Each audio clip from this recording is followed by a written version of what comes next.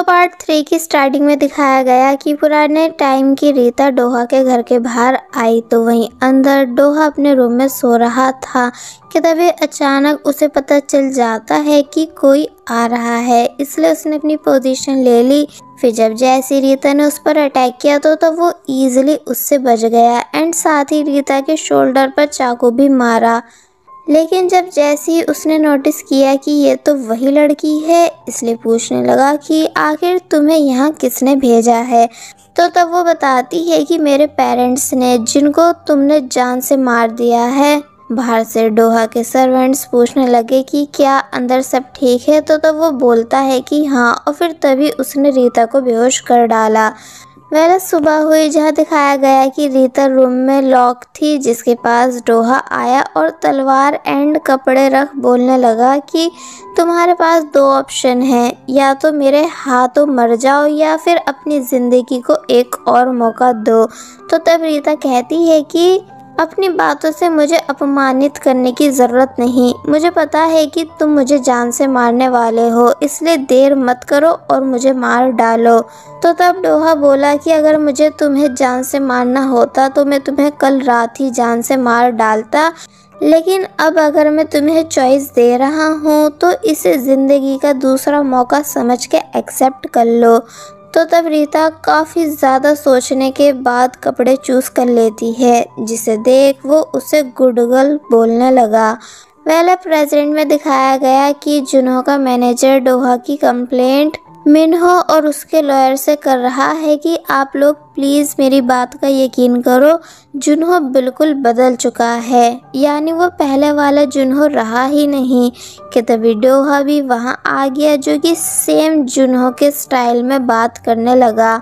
ताकि लोगों को यकीन दिला सके कि वही पुराने वाला जुनो है। इसलिए मैनेजर सरप्राइज़ रह गए कि क्या सच में तुम पहले वाले जुनो बन चुके हो? इसलिए डायरेक्ट उसको हक कर लेते हैं। जिन्हें देख मीनो और उसका लॉयर दोनों खुश होने लगे।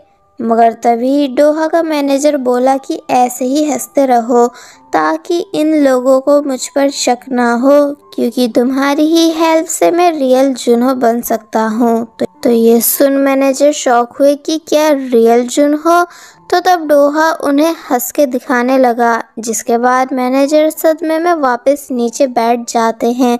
तो तब डोहा अपने भाई से एक फेवर माँगता है कि आप प्लीज़ आज के इवेंट में रीता को भी लेकर आना, जिसके बाद अब हम प्रीमियर इवेंट देखते हैं, जहाँ हिस्टोरिकल ड्रामे की पूरी कास्ट का इंटरव्यू लिया जा रहा था तो द मिनहो प्रॉमिस के अकॉर्डिंग रीता को भी यहाँ ले आया, जिसे देख डोहा खुश हो जाता है।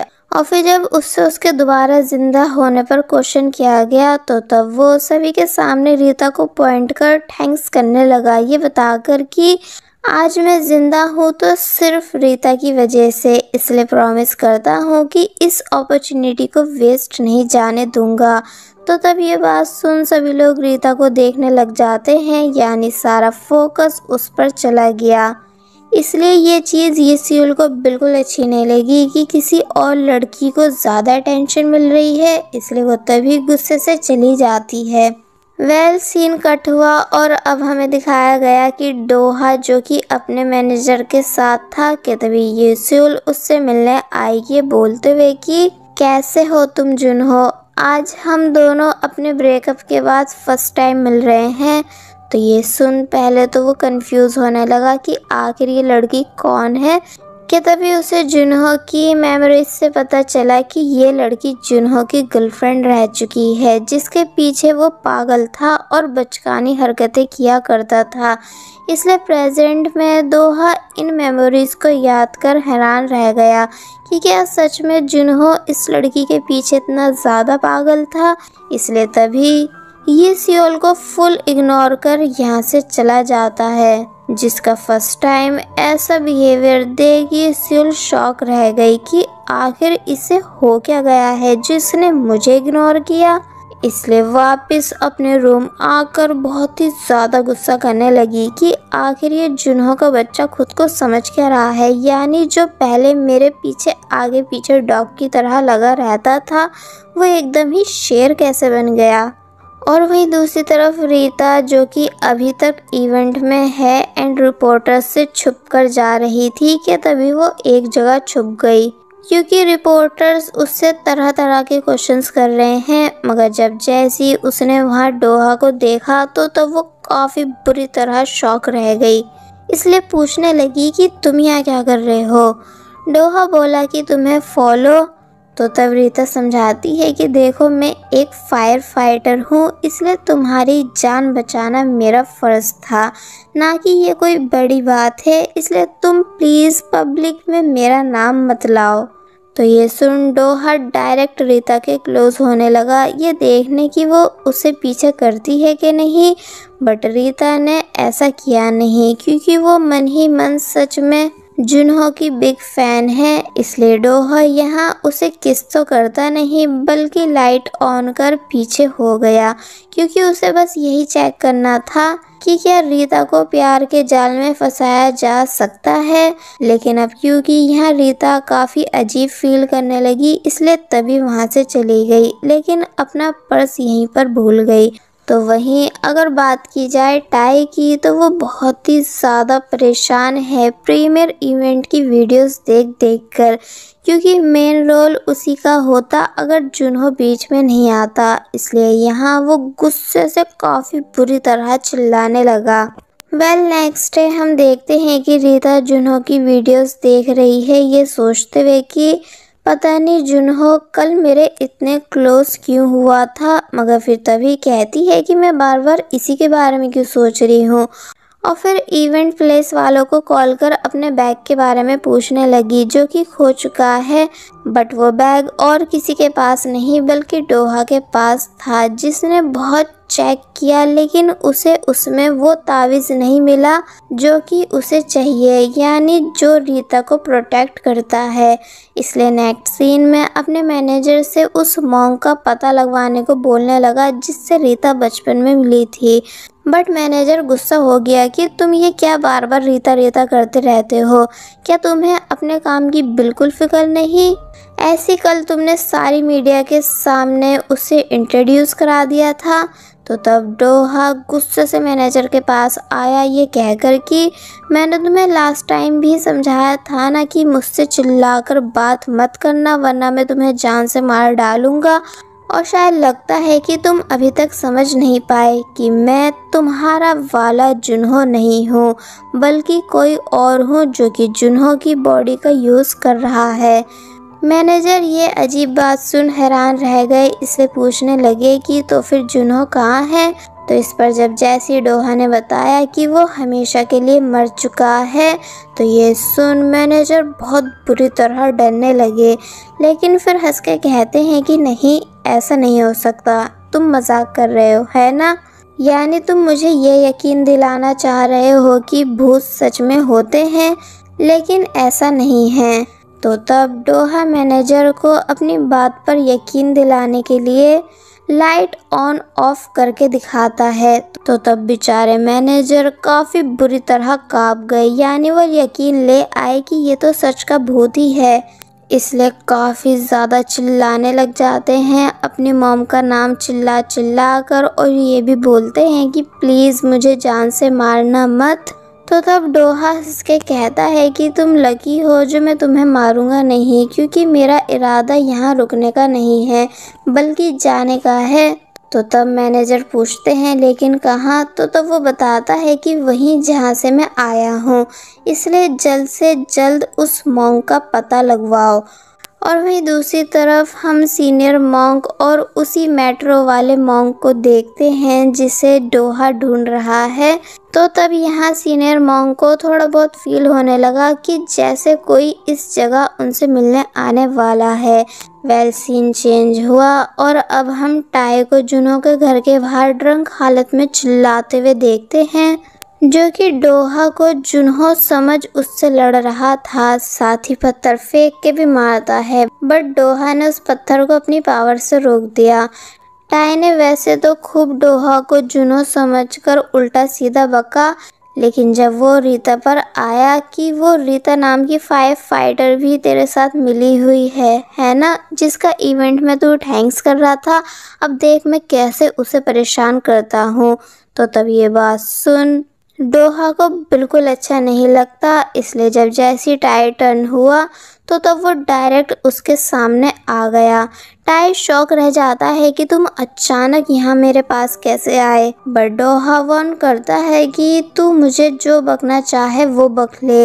लेकिन बिल्कुल भी अपनी गंदी जबान से रीता का नाम मत ले, वरना मैं तुझे जान से मार डालूँगा।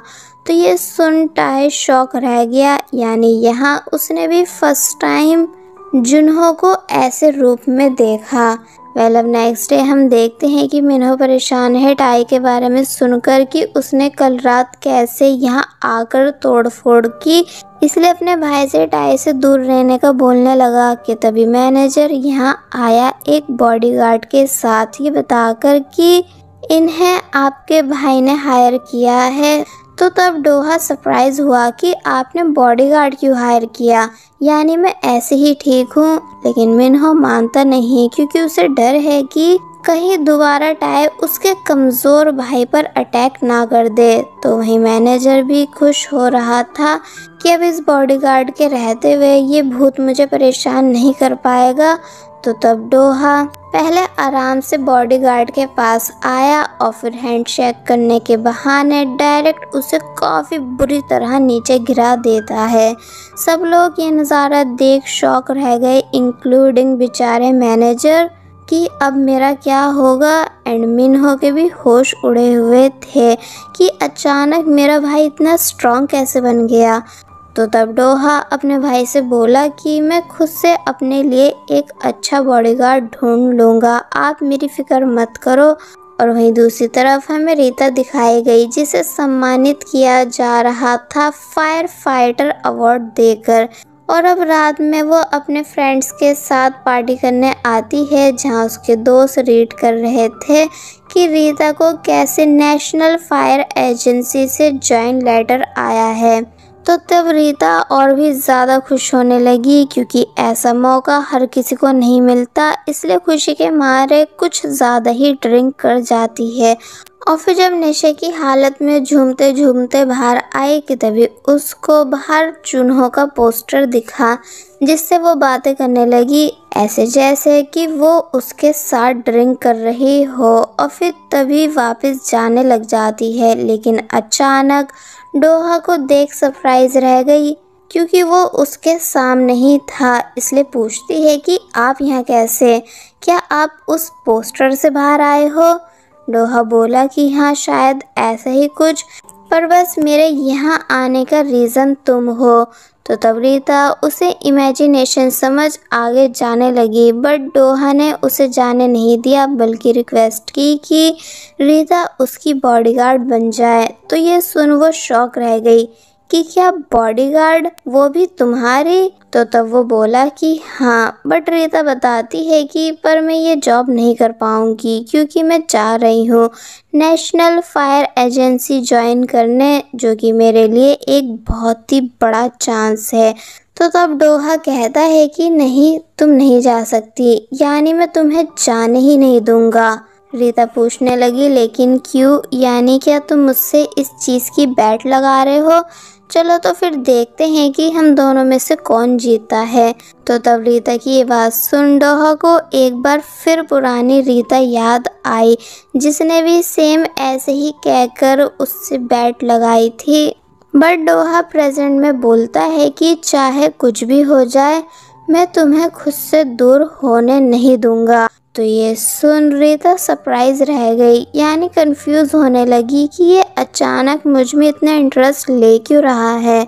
और फिर तभी सीन चेंज हुआ एंड अब दिखाया गया कि डोहा घर पर है एंड चलते हुए कुछ सोच रहा था कि कैसे उसने भी सालों पहले इसी तरह रीता से बैट लगाई थी, जो कि ये थी कि डोहा बिग स्टोन्स पर चलते हुए बिल्कुल भी पीछे मुड़ के नहीं देखेगा। पर अगर उसने देख लिया तो तब रीता हमेशा के साथ उसके साथ रहेगी, जबकि डोहा ये चाहता है कि वो यहाँ से चली जाए। इसलिए कहने लगा कि मैं बिल्कुल भी टर्न नहीं होऊँगा।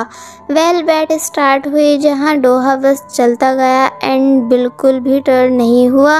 रीता के काफ़ी पुकारने पर भी नहीं, इसलिए वो खुद से उसे पीछे से आकर हक कर लेती है। ये बोलकर कि प्लीज़ मुझे खुद से दूर मत करो। मैं तुम्हारे ही साथ रहना चाहती हूँ। तो तब डोहा कहने लगा कि ये तो चीटिंग हुई। पर जब रीता बिल्कुल भी मानी नहीं तो तब इमोशनल होकर वो टर्न हो ही गया।